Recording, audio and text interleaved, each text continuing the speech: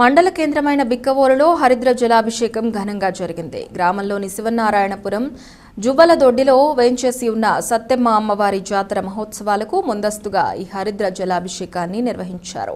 అమ్మవారికి భక్తి శ్రద్ధలతో నిర్వహించిన ఈ కార్యక్రమంలో నూట ఎనిమిది మంది మహిళలు పవిత్ర గోదావరి జలాలతో కూడిన కలశాలను శిరస్సున ఉంచి మంగళ వాయిద్యాల నడుమ గ్రామ వీధుల్లో ఊరేగారు. కాగా ఈ నెల ఇరవై ఒకటి ఇరవై రెండు తేదీల్లో సత్యమ్మ అమ్మవారి జాతర మహోత్సవాలు అత్యంత వైభవంగా జరగనున్నాయి.